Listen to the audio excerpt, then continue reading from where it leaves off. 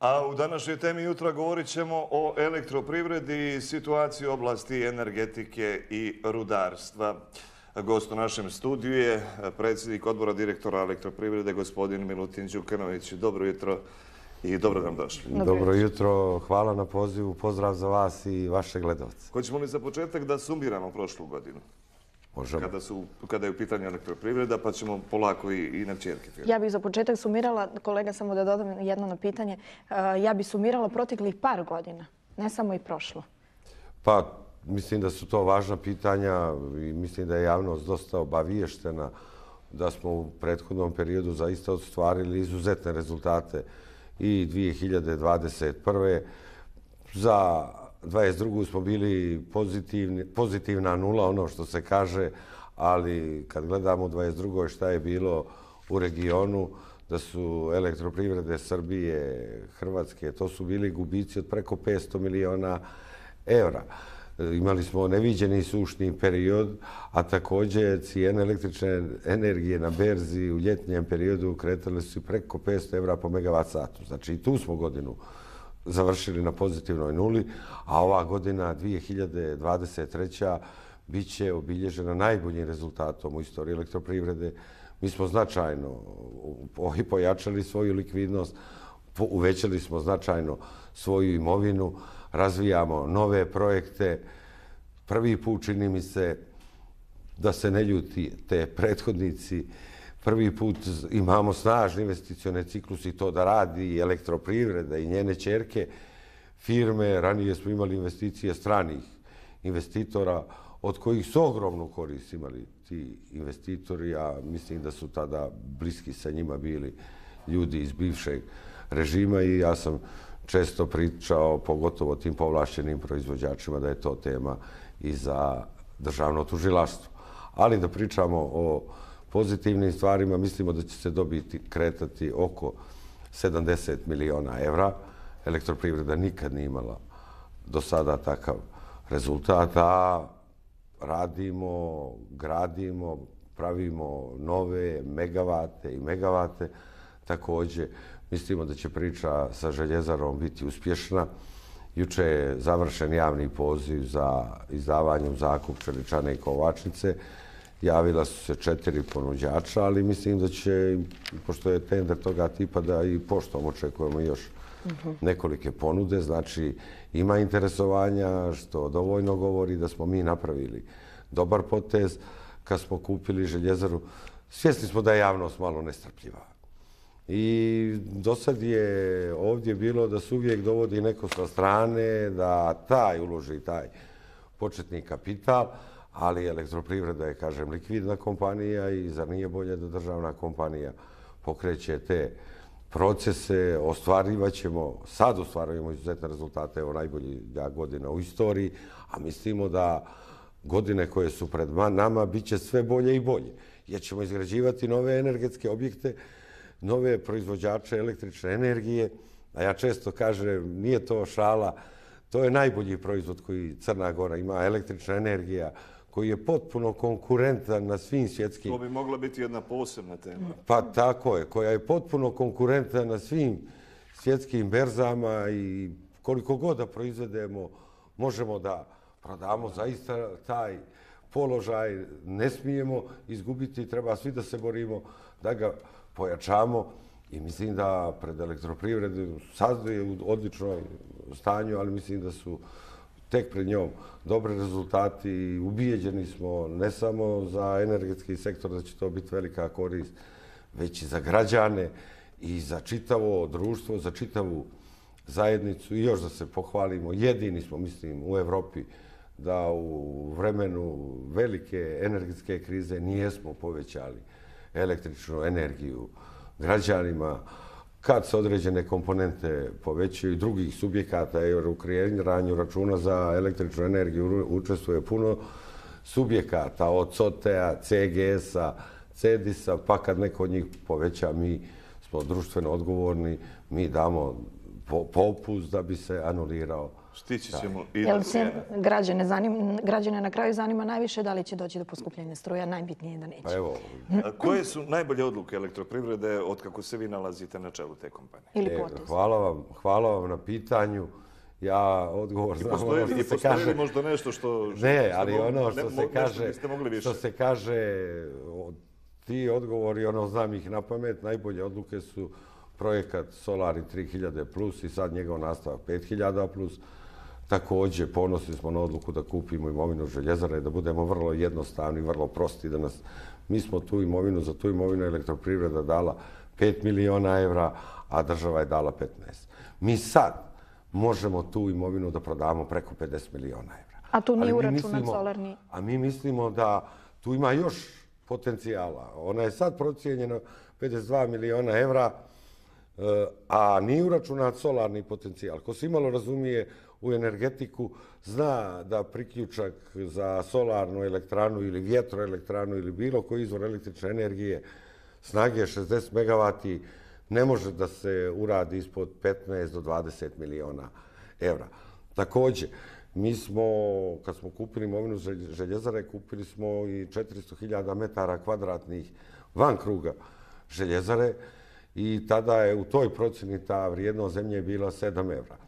Mi smo pokrenuli projekat, raspisali smo konkurs za, eh, izgra, ar, za izradu idejnog arhitektonskog rešenja za stambeno-poslovni kompleks Sunčani grad, gdje će biti ogromni tržni centri, gdje će, smo, gdje, gdje će se raditi od 500 do 1000 stanova. I sama taj projekat i u saradnji sa opštinom Nikšić to će zemljište 400.000 metara kvadratnih da postane gradsko građevinsko zemljište, da tamo može da se radi i gradi, automatski ta prvobitna cijena sa 7 evra ići će od 40 do 50 evra, pa nešto što je 400.000 metara kvadratnih prijedjelo po 7 evra, 2 miliona i 800, sad izračunajte 400.000 evra puta 50 400.000 metara kvadratnih puta 50 evra, to je iznos od 20 miliona. I samo kažem, evo odmah možete izračunati da ide 20 plus 20 miliona na ovo 52,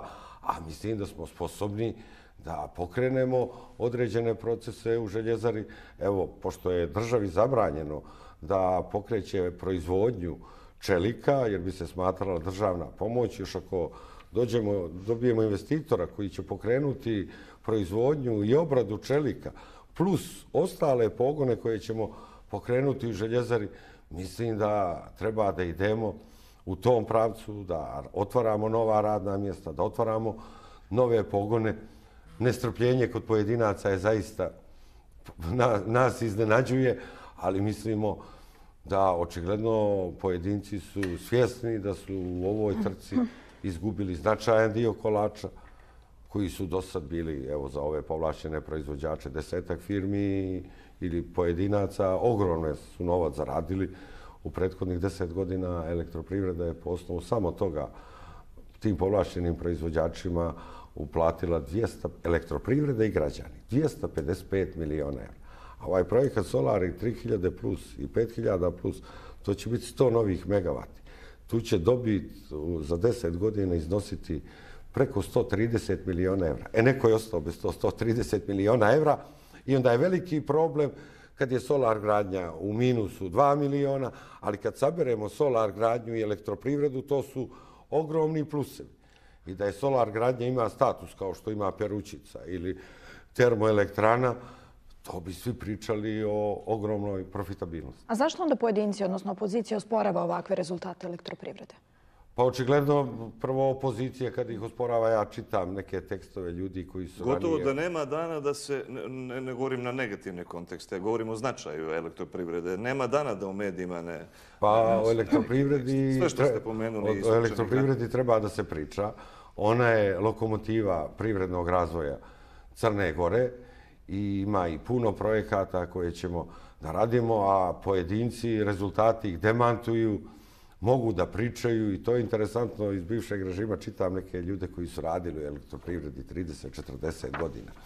I oni sad analiziraju gdje je propušteno, da li solar gradnja treba da ima 300, 400 ili 500 radnika, a, ne, a nije ih sramota da za vrijeme svog radnog vijeka nijesu sobstveni kilovat uradili, nego čak su se trudili i bili kreatori da se uvede ovaj sistem vrlo opasan po čitavu zajednicu povlašćenih proizvođača, vrlo opasan po čitavu zajednicu povlašćenih proizvođača i obezbijedili su tim privilegovanim pojedincima, otvoreno da kažem bliski, rukovodstvu, bivšem rukovodstvu Demokratske partije socijalista, 255 miliona evra. E sad, i gledao sam juče, čitao sam, ako se proda željezara, morat ćemo da damo to ščeliku 5 miliona evra. I to se odmah negativno tumači. A znate šta to znači?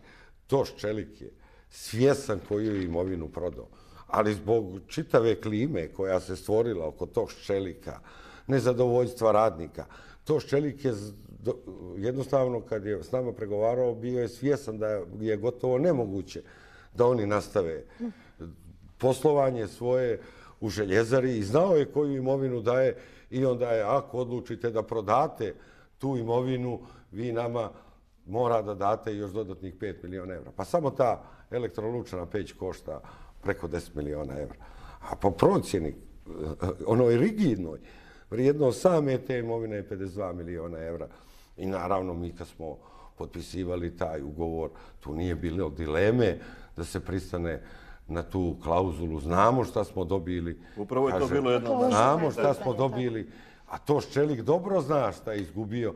Ja sad neću da budem arbitar da sudim taj odnos koji se desi između radnika i to Ščelika i prethodne vlade, neka prethodne vlade DPS-a, koja je zaista se neodgovorno odnosili. Sad ti pojedinci koji za 30 godina ništa korisno nije su uspjeli da urade po osnovu željezare, ništa korisno nijesu uradili u energetskom sektoru i sad oni komentarišu uh, šta se dešava, za bog čega je solar gradnja u minusu 2 miliona evra. U minusu je zato što nije bilo opreme, kažem, tu su zatajile naše službe, uh, nabavke, a bogu mi da budemo i do kraja korektni, zakon o, javnih nabav, o javnim nabavkama je dosta kompleksan i dosta usporava državne kompanije u, svoj rastu, u svom razvoju, a i bili su nametnuti određeni standardi i da se unutrašnje procedure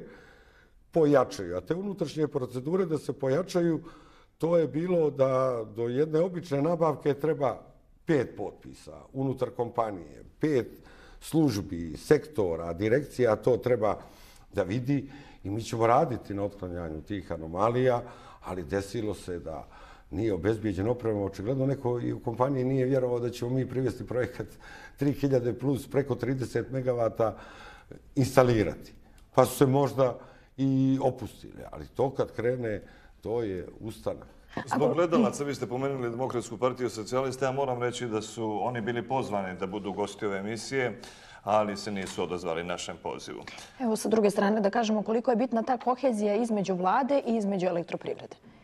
Pa, to je od vitalnog značaja ta kohezija između vlade i elektroprivrede. E, država je vlasnik e, kapitala, 98,5% akcija država određuje, a državu predstavlja vlada, ona imenuje glavni organ upravljanja, odbor direktora.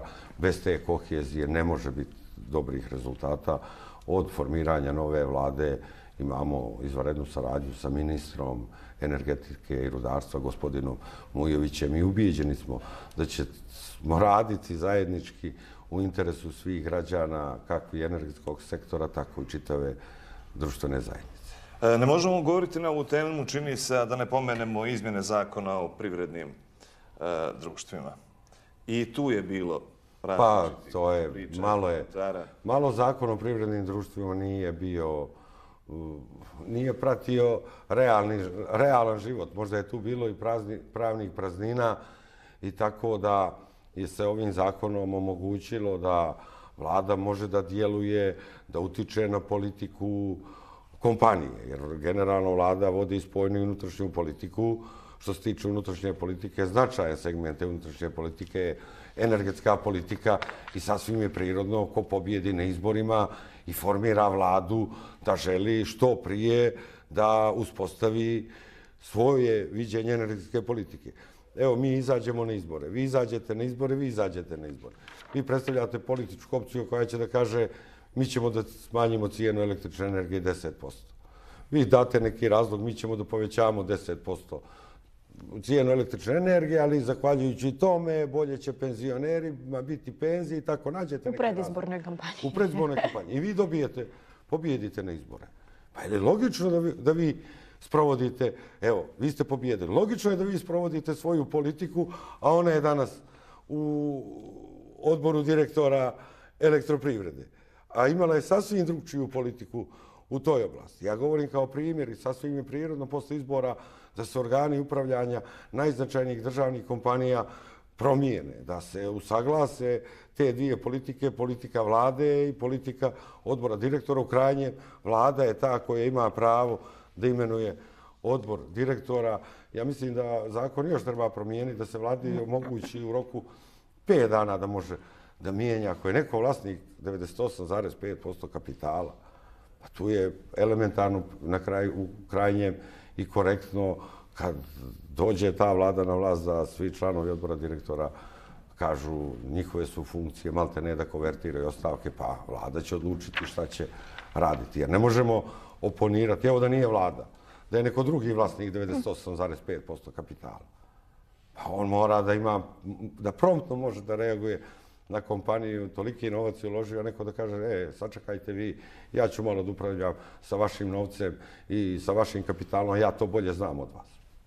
Ipak kad se otvori sva ova pitanja danima, mjesecima, je li ovo političko pitanje ili je pitanje opšteg dobra e, građana Crne Gore? Pa ja, ja smatram sve je politika. vidimo ko se sve oglašava. Samo da sve je politika. Ja sam sad pokazao šta znači unutrašnja i spojna politika unutrašnja politika ima oblast energetike, pa može oblast komunikacija, može oblast poljoprivrede i to se, takmiče se te ideje. I na izborima građani se opredijele koje ideje favorizuju i to je sasvim prirodno. I politika kreira određene društvene procese. I ne treba sad, je li to sve politika?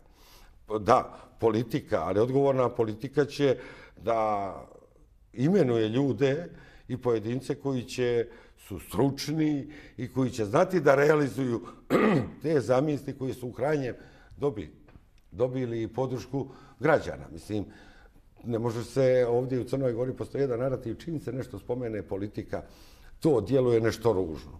Nije. Moramo da se naviknemo da slijedimo demokratske principe i da slijedimo elementarnu logiku. Ja sam pokazao na jednom primjeru kad izlaze političke organizacije na izbore, pa jer energetika je važan segment, pa poljoprivreda, pa sad imate neko poljoprivredno preduzeće, pa neko je na izborima rekao da će da razvija to i to, a neko je rekao nešto drugo. Pa kad pobijedi onaj, je dobio glasove što je rekao da će da razvija to i to, pa prirodno je da on predloži ljude koji će da realizuju njegovu politiku. Vrlo prosto i jednostavno. Možemo li se vratiti na, na cijene struje? Može li se reći da struje faktički nije poskupila zbog naših Pa da, pa mi smo za redovne potrošače nije poskupila zato što taj dio koji je povećao CEDIS, to je pet i nešto posto na računu. Elektroprivreda je dala dodatni popust za redovne platiše i ta, to povećanje te stavke CEDIS-a bit će anulirano popustom koje će dati elektroprivreda. Crne Gore, evo, koristim i ovu priliku, pošto zaista, kažem, u posljednje tri godine nije, jer smo jedina elektroprivreda možda u Evropi koja nije povećavala cijenu električne energije. Pozivamo građane da redovno plaćaju račune za električnu energiju, a i da štede. I da štede. Možemo li malo projekat Solar Plus da čujemo? Kakav je projekat? Kakvo je, da li je dobar, jesu li realni njegovi planovi? Pa projekat e, ima dva dijela. Projekat Solar 3000 plus i 500 plus i projekat Solari 5000 plus. Projekat 3000 plus zamišljen je na taj način da se 3000, na 3000 objekata, krovova instaliraju solarne elektrane i još na 500 krovova kod pravnih lica. To je oko snage instanisani solarni paneli, to je oko 30 MW. Taj projekat je završen. Ostalo su još neke tehničke detalje, jedan dio objekata da se priključi I mi smo uspostavili tu politiku koju danas svak u Evropi uvažava od energetskih kompanija do finansijskih institucija, ta poslovna politika proizvodi tamo gdje trošiš. Ona je pobjednik što se tiče zelene tranzicije. Jer pravljenje velikih elektrana iziskuje da imamo i druge segmente uređene kao što je prenosna mreža, imovinsko-pravni odnosi i tu ima još peripetije, ali ova politika proizvodi tamo gdje trošiš je definitivno pobjednik i u ovoj oblasti. Nama je zadovoljstvo što smo malte ne prvi u regionu pokrenuli to. Projekat e, 5000 plus je novih 70 MW na istom konceptu. Malo ćemo više raditi solarne elektrane kod državnih institucija. Državne institucije i državna preduzeća plaćuju 25 miliona evra za 25 miliona evra su im troškovi električne energije. Mislim da će veliki broj njih učestvovati. Evo sad zbog velikog interesovanja produžili smo i ovaj konkurs za 5000 plus i mogu i građani, i pravna, i fizička lica da se prijavljuju na taj konkurs. To je novih 70 MW. Suština je da elektroprivreda sve obezbeđuje i čak i kreditna sredstva. I ta kreditna sredstva prenosi na građane. Građani malte ne, ne moraju nigdje da idu. E, sređujemo svu papirologiju. Tu ima 20 različitih dokumenta od ponuda, nekolike vrste ugovora, do saglasnosti zahtjeva prema CEDIS-u, zahtjeva prema snabdijevanju. A i također smo uključili ekofond na način da ekofond je davao subvencije za projekat 3000 plus 20%. Sad u ovom novom projektu isto će biti 20%, ali 10% ekofond, 10% elektroprivreda. I zašto je ušao ekofond u ovu priču? I to je interesantno. I to je jedan od dobrih poslovnih poteza elektroprivrede. To je iz razloga prethodni za vrijeme vladavine Demokratske partije socijalista. Elektroprivreda je bila u obavezi da plaća kaznene penale zbog emisije CO2. To se ugljen dioksid, to se zovu takozvani CO2 krediti. I ranije je elektroprivreda davala za dvije godine dala, dala je e, preko 15 miliona evra dala je kombinatu aluminijuma Podgorici privatnom vlasniku. To je nama bilo van pameti odakle je kombinatu aluminijum, uopšte CO2 krediti. Ali sada smo taj novac uplaćujemo ekofondu. A ekofond ga vraća tako što daje subvencije za ove projekte. Za svakog je dobro, i za elektroprivredu, i za ekofonda. Najveći dobitnici su tu građani.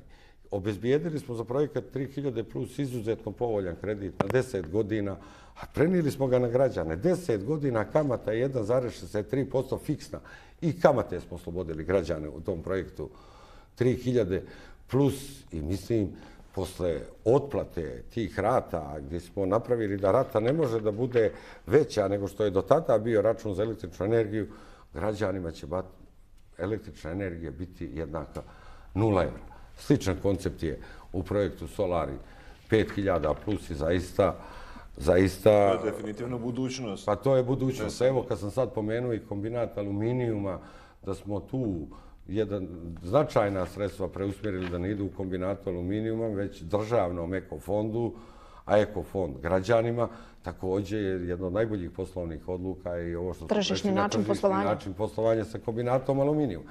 Mi da smo ostali u 2022.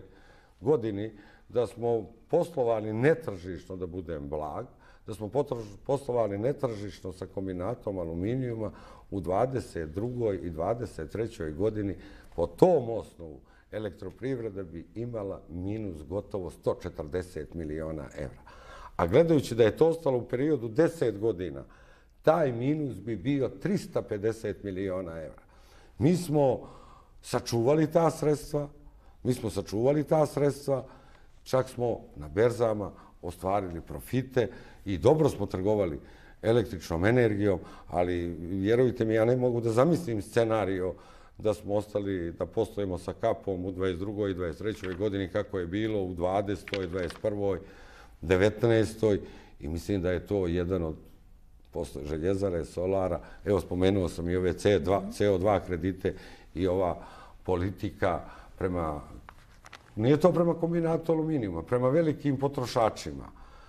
E, Ja- tu smo imali, zaista spriječili jedan odliv ogromnih sredstava i elektroprivredu napravili stabilnom kompanijom. Mogu li samo pitanje jednog gledalca, e, suština projekta, da li će se zaposliti još više građana? Da li će biti zaposleno više građana? Pa naši su planovi, to je svoj odbor direktora menadž, na predlog menadžmenta elektroprivrede, da mi na mjesečnom nivou radimo 5 do 6 megavati.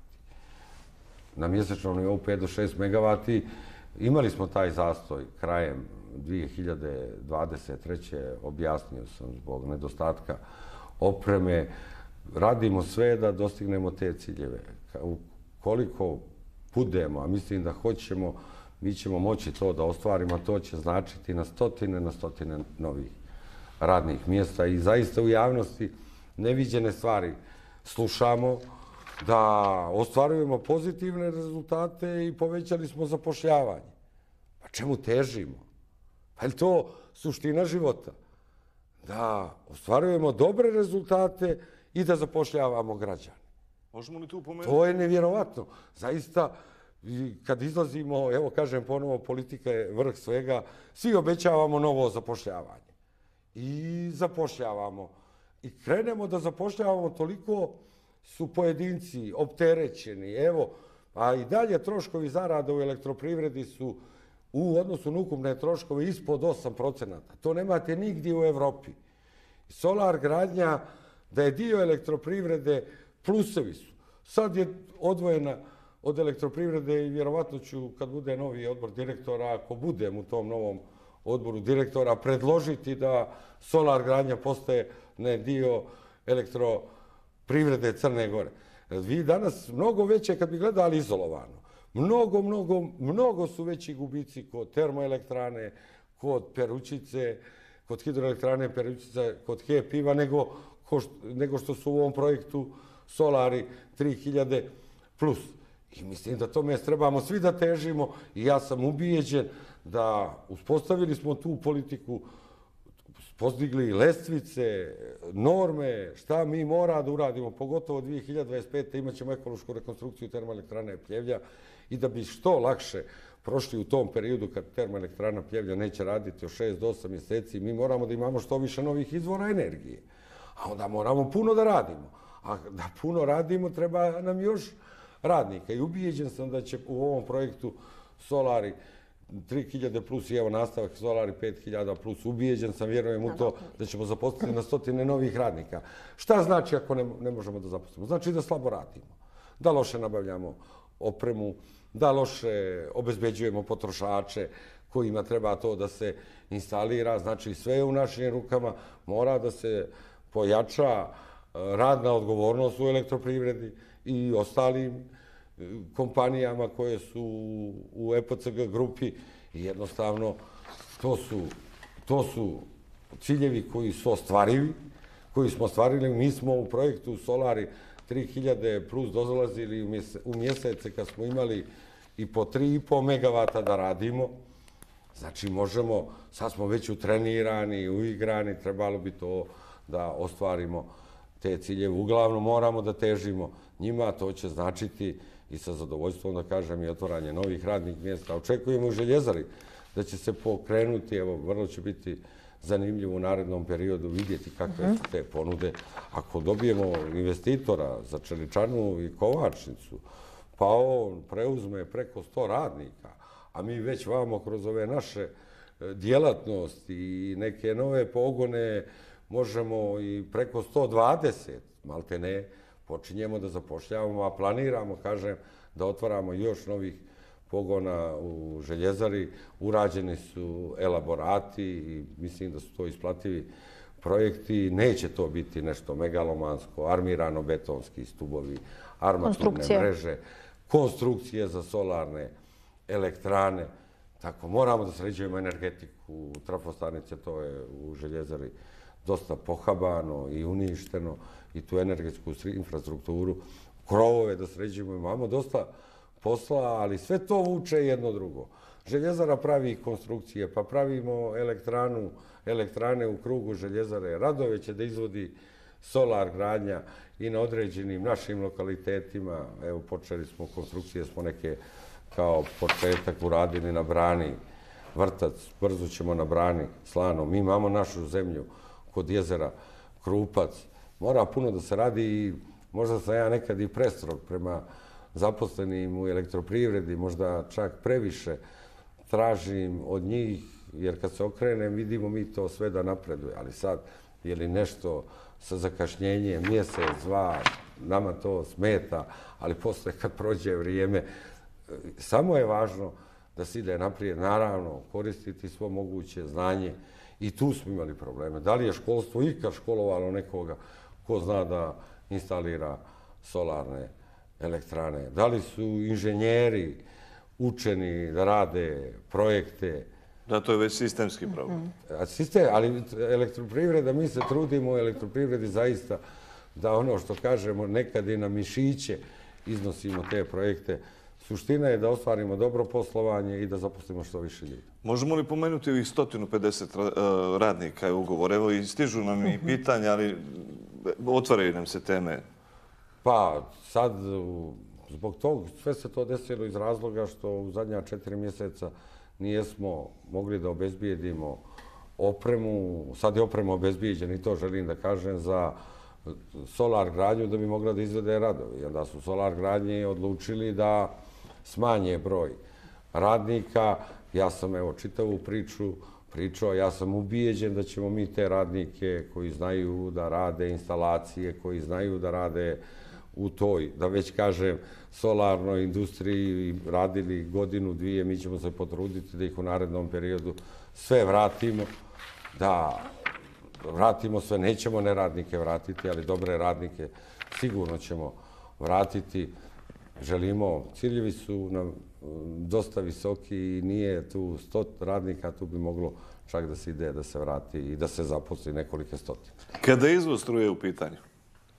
Pa dobro, sa tim smo izuzetno ponosni, ostvarili smo izvaredne rezultate koji utiču na trgovinske bilanse Crne Gore i mogu da kažem da to je jedan od tih razloga što možemo da se pohvalimo s tim rezultatima je taj naša politika gdje smo utvrdili da moramo da pređemo na tržišni način poslovanja sa velikim potrošačima. I to nam je dalo prostora da ostvarimo u trgovini električnom energijom zaista izuzetne suficite.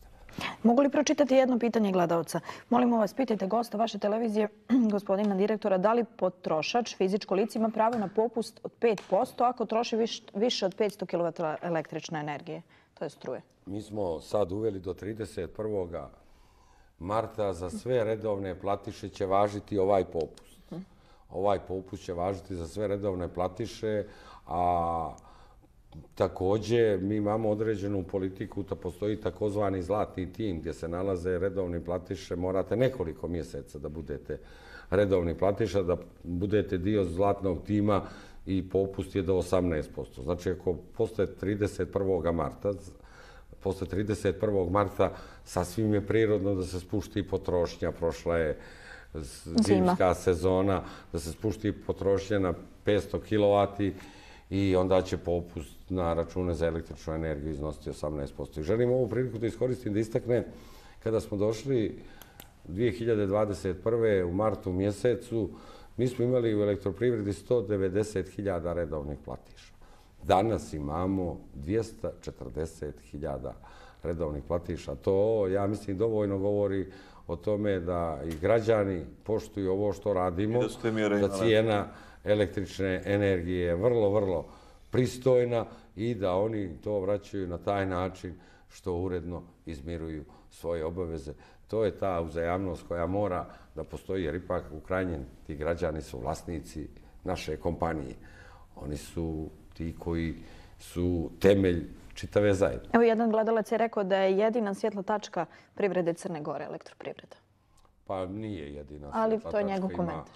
Ima i drugih kompanija koje rade koje rade dobro i u energetskom sektoru i u drugim sektorima. Evo, pogledajte ovo morsko dobro, kako je napravilo dobre poteze. Dobro je da se imovina koja je ranije prodata pošto zašto vraća u ruke države.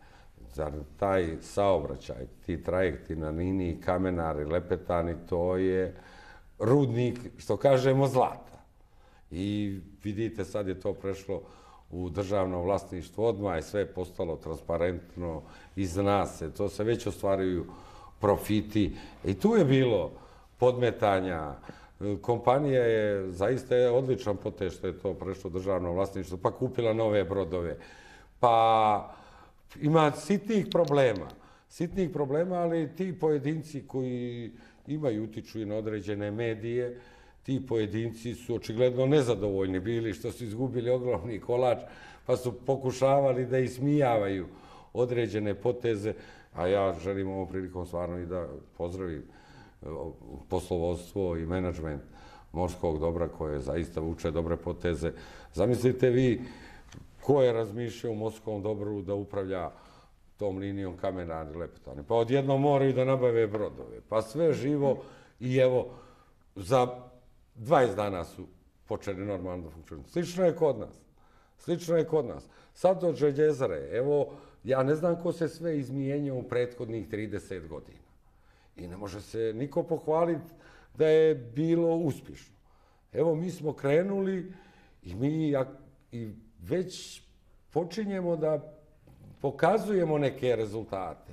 Evo, da bude i to i naznake nekih rezultata, ali odmah ti koji 30 godina i više nijesu mogli da kaže da pomjere ovu čašu ili nijesu htjeli ili mi interes bio da ne pomjeraju počinju da kritikuju, pa jesu onda investitore dovedu sa strane da investitor da određena sredstva, pa i taj investitor kada određena sredstva, on je u gubitku određeni period.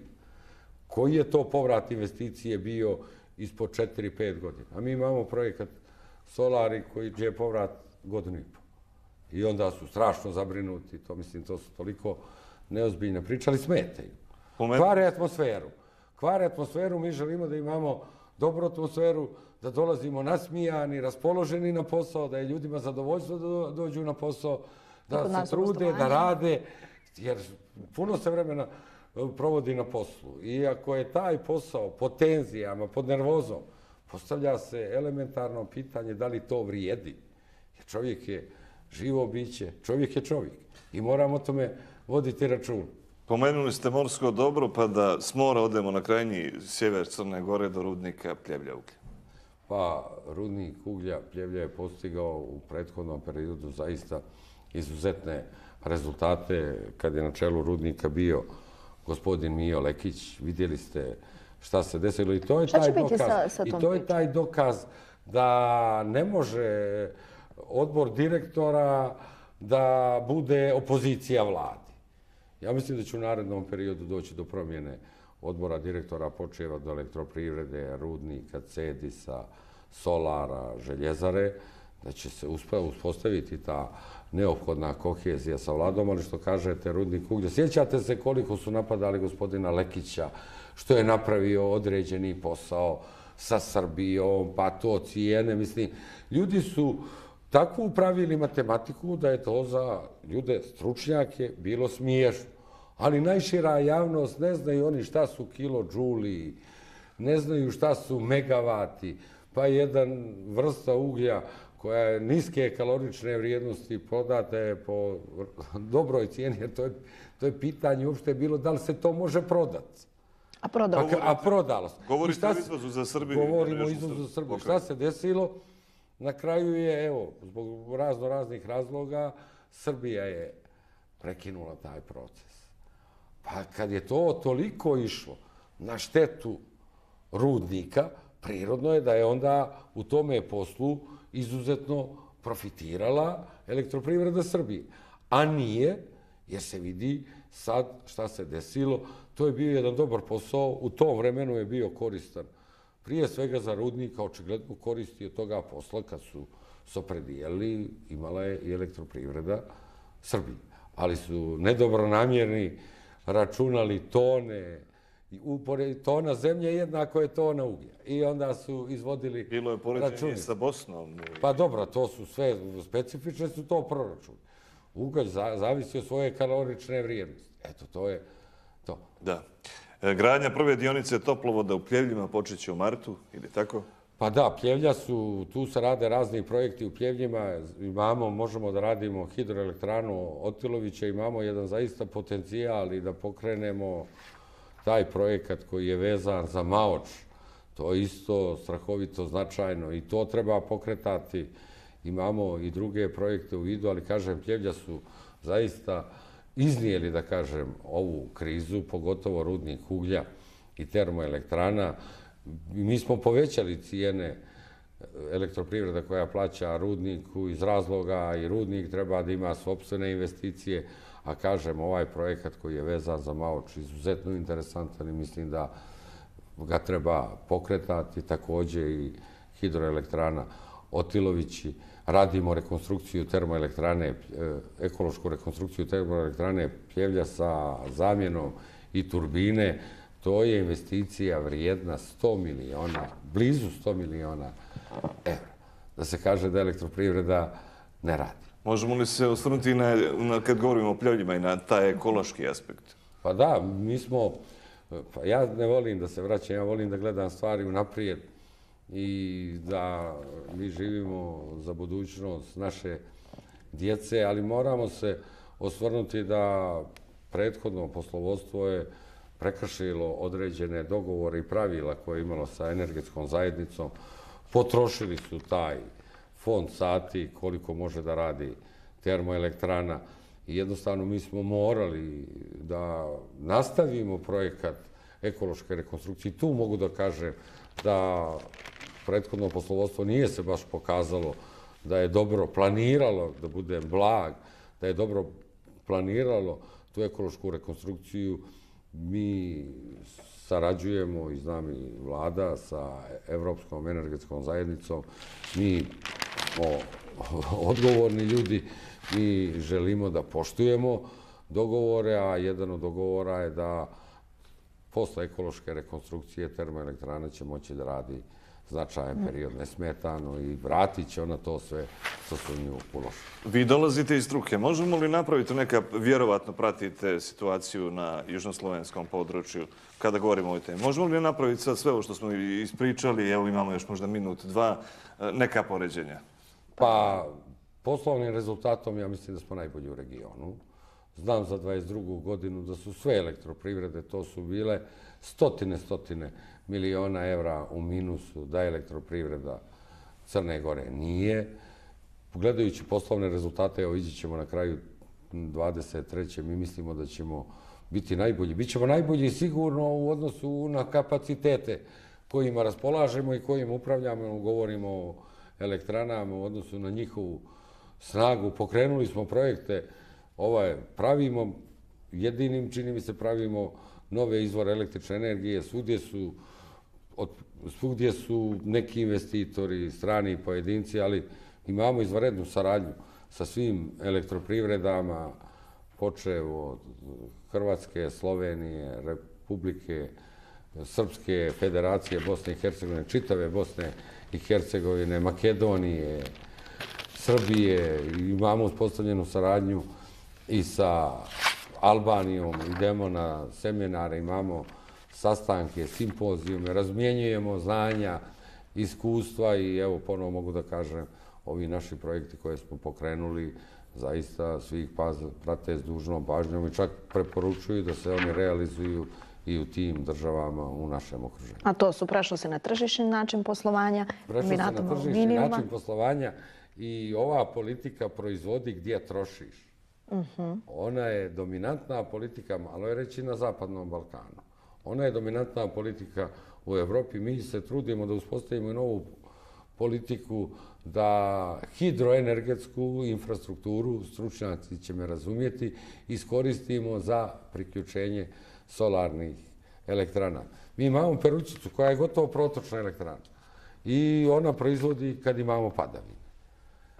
Ali kad sunce grije, Moramo imati alternativu. Tada bi dano bilo da solarne elektrane priključujemo na istu energetsku infrastrukturu, jer ta energetska infrastruktura, tu svega mislim na te transformacije energije i to i prenosne vodove je strahovito važna. Strahovito važno. To mora paralelno da se radi.